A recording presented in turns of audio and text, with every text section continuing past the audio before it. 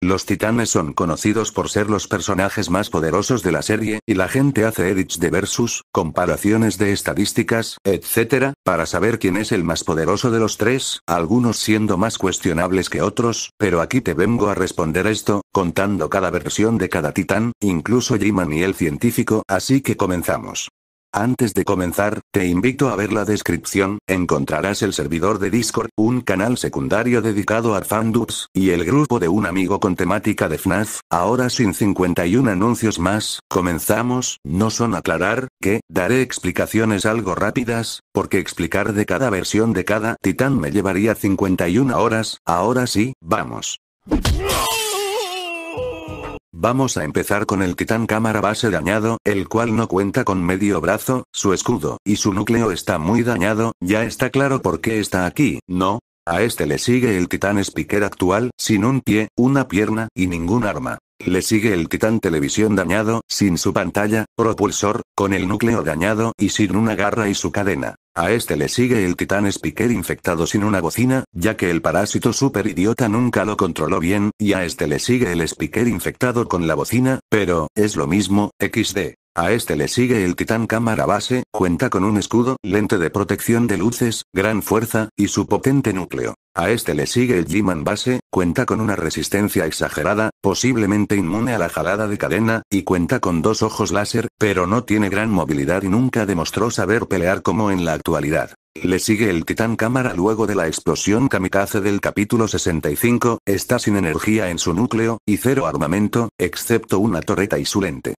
A este le sigue este mismo titán cámara, pero con su brazo sierra. A este le va el G-Man 2.0 cegado, sin sus ojos láser, pero con jetpack, y cañones láseres. A este le sigue el titán Speakerman, gran agilidad, movimientos de pelea, un titán muy variado para ser versión base. El G-Man 2.0 sin ningún daño se lleva este puesto, ya que ahora sí posee la gran ventaja, de un jetpack. El Titán Televisión Man se lleva este puesto, en versión base está demasiado roto, luz roja, cadena, garras, simplemente es todo en uno, solo le faltaría ser menos confiado y tener algo para volar. El Titán Speakerman infectado mejorado le sigue, le hace full counter a Titán Televisión, y se queda muy abajo por ser el infectado, y tener mejoras de solo 9 capítulos, que son muy pocas. A este le sigue el Titán Cinemaman, el Titán TV con bocinas casi indestructibles, este man era imparable, y muy difícilmente lo vencieron en el capítulo 47. A este le siguen, Speaker luego de la explosión kamikaze, Speaker con sus dos cañones de los Speakermen, y su versión totalmente desarmada, y encima de estos su versión mejorada, de los capítulos 58, 64, encima de estos está G-Man 3.0, lentes, audífonos, y 6 láseres, armamento suficiente para vencer a Cinemaman y a Speaker.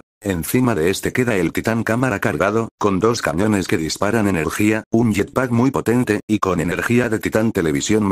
Aquí me dirán muchas cosas, pero el científico Toilet está muy sobrevalorado, y este se queda aquí, su arsenal no es suficiente para vencer a ningún titán, incluso Speaker tiene algunas oportunidades en su versión mejorada, porque díganme, ¿qué le hizo el científico Toilet a titán cámara él solo? Nada, solo lo alejó para no morir, y a pesar de eso, este cayó, contra el dúo titán dañado y destapacaños. A este le sigue el titán cámara cargado, con brazo de cañón de ácido, es casi igual al anterior, pero esa arma es potente. Seguido viene el titán Speakerman sobrecargado, igual muy sobrevalorado, pero es como una hipercarga de Brawl Stars, solo le da un aumento a sus capacidades, y ya, sería más poderoso si se cargará su versión mejorada, pero no es el caso. Le sigue G-Man 4.0 totalmente destrozado, y frente a este el caso desarmado. A este le sigue el titán cámara luego del combate de Skibidi Toilet 73, no sufrió muchos daños, pero perdió media pierna, pero su núcleo está bien, y sigue con el brazo manipulador de energía. Seguido viene la misma versión de Titán Cámara sin daños, es prácticamente lo mismo pero es capaz de mantenerse de pie, XD.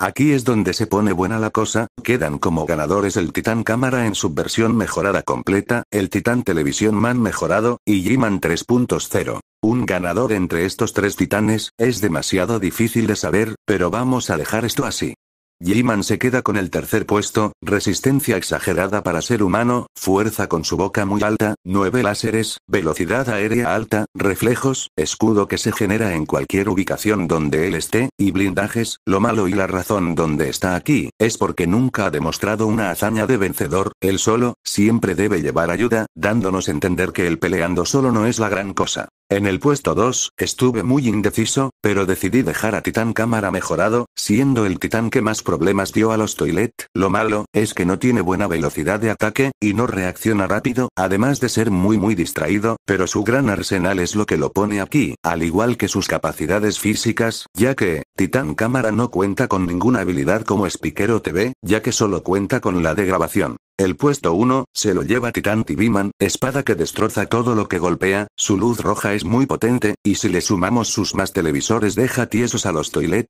tiene el mejor núcleo de la serie, tiene reflejos muy superiores los otros titanes, quizás hasta de Speaker y G-Man, la única gran desventaja de este, es que no puede volar, y no tiene muchos ataques a distancia, pero aún así, puesto número 1. Y hasta aquí terminamos, recuerden que solo es una comparación de poder general, no pusimos a ningún personaje a pelear con el otro, y recuerden, solo es la opinión del 51, y aquí yo procedo a despawnear, adiós.